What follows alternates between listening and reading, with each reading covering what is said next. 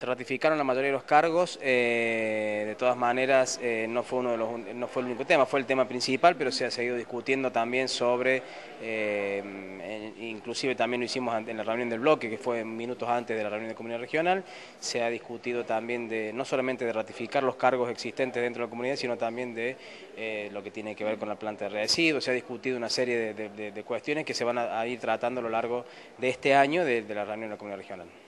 Carlos Alessandri sigue siendo el presidente. Carlos Alessandri sigue siendo el presidente, Acuña sigue siendo vicepresidente, eh, yo sigo siendo el tesorero.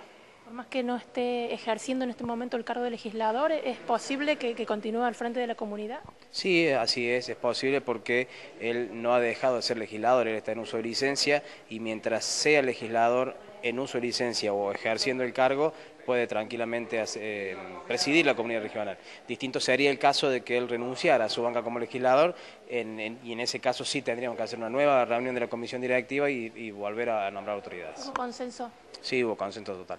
¿Cuándo se cierra el basural de Villa General Belgrano? ¿Tiene fecha? Sí, casualmente uno de esos temas fue lo que hablamos eh, ayer después de la reunión de las autoridades, de la elección de las autoridades.